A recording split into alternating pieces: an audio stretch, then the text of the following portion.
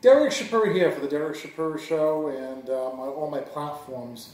Uh, I have former state rep and current civil rights leader, Mr. Ray Rickman. How are you doing today? Wonderful.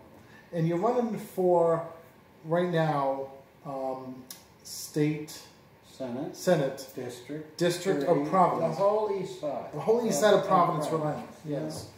And why did you want to get back into politics? Uh, uh, well, no, first I've of been all, out of politics for For how long? 22 years. 22 years. 22. So, so your last state. Well, I have uh, some other people in this race Mhm. aren't as old as I've been away from politics. So, so what was your last office that you held? State rep. That was state Well, that's not true. I was Deputy Secretary of State Okay. uh, in 2002. So after 22 years, and my daughter's going to be 21 this weekend, Yeah. oh, next weekend. Yeah. So what made you get back into politics So after 22 years? the Providence Public Schools have Sure. been going downhill Yes. 21 years or Yep. longer. It's awful. hmm This is a crime against these 23,000 young people. Crime. They're going to go out in the world, hmm undereducated or uneducated, quitting in the eighth and ninth grade. hmm Small number of them going to end up incarcerated. If Mhm. they had a better education, that wouldn't have happened to them. So you think a lot of the crime, or, or some people that does crime in Providence? No, no, most crime is linked to poverty in some way or form. Mm. Now, I don't want to overstate it because because you're poor doesn't mean you're a criminal. No. But uh, and and we have you know in the old days, not that far ago, we got mafia people who are millionaires out committing crime. So we have to be careful about Exactly. linking it to poverty. uh, some people just want to do bad things in the world. And some people have emotional problems, mental problems. I'd be here all day talking about where crime comes from. And we need a good educational system that is created to help people advance. And we don't have it. So how can you how can you change that from just for you? So um, the General Assembly, the Senate, the House, does not pay enough attention to our educational needs in public schools. Why? They've had a 20-year back and forth fight about charter schools. Mhm. You know, 3% of kids go to charter school, 90% of the discussion on education is about charter schools. Sure. Should we have charter schools? No, we shouldn't have charter schools. Yes, we should have charter. They're the greatest new thing in the world. Even if they were, and 3% of our kids are going to them, and 97% of kids are not, they shouldn't be that much of the discussion. So Mhm. that's the first problem. The second problem is the state, Governor Raimondo, took the Providence Public Schools and gave them to the State Department of Education Right. and they're doing a worse job than when the city had them. And who Mhm. would have thought that was possible? Sure. So uh, I uh, recommended to the governor in a letter. She paid no attention to it and she never answered me. I suggested she could get a master, Mhm. that is, hire an individual, Mhm. retired school superintendent of Ann Arbor, Michigan, or Cambridge, Mass, a really good system, some 65 year old person, and say, come here and see if you can make these schools better. It's all you have to do. And put you on the fifth floor of some building uh, Sure. and give you a staff of seven or eight people and see what you can do. Sure. The big bureaucracy. With, and she didn't do it. Sure. She gave it to the State Department of Education that already has 55 things to do, and this is number 56. I'm just pulling that Sure, number out of the hat. And it was a mistake. Yep. Uh, she wanted the state to have control. Mm-hmm. So she's obligated to see that these schools became better, and they did not. Now, I want to be part of the state, being in the state senate. Mm-hmm.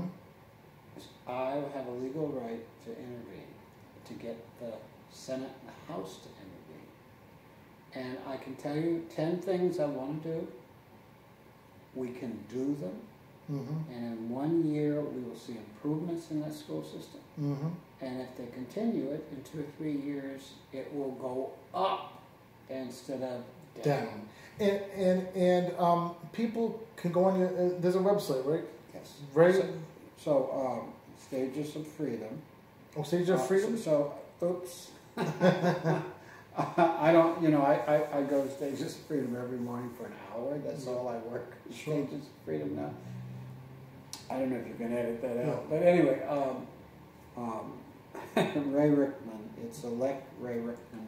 Elay, uh, Elect elect Ray Ray Rickman Dot dot Ray Rick elect Ray Rickman dot com. So, um, And also, of course, they can call you too. they can call 401 316. 4819. Yep, 316 4819. But let, let, me, let me give you one example. Sure. Because uh, you kind of asked me this, but people ask me all the time more directly. Sure. Either what can one person do or what are you going to do? And I just told you, I have 10 things I think I can do in one year. You ready? Okay. Um, violence. Violence. Capital, violence in the capital city. Now, let me ask a question about that because um, um, your district is University Heights, right? No, It's not. Holy Summit. Okay. Be- Everything. Because because um, there was a young girl that got killed. Right there. Right, right in Right University there. Heights. That's right. At, at, What- on Olney Street. What? And I only have um three three less than three But minutes. I was about telling you about violence at school, but I'll answer you on that. What could you do just about violence in the streets? Um, that is a complicated, big problem. Mm. Okay, uh, and we've had this in America since probably the 1820s. Right. So there's nothing new about it. But But we don't. No, no, no. I, want to be careful here. no, no, no. But Wait, wait. This young the, woman the, the is, inno- is innocent, so everybody is concerned as I am. Right. Doesn't that she was murdered. But we have a murder every six weeks in Providence. And most of them are gang affiliated, done Yeah. something related So what can the state do for that? No, because this is the same thing what I was trying to tell you before. Right. You get in a bad state and then you go do something bad. What if you were a good kid? What if you were 18 year olds, graduated from a really great school? Right. Moses Brown, Wheeler, Lincoln kids don't go out in the street doing violence. Right. Seriously.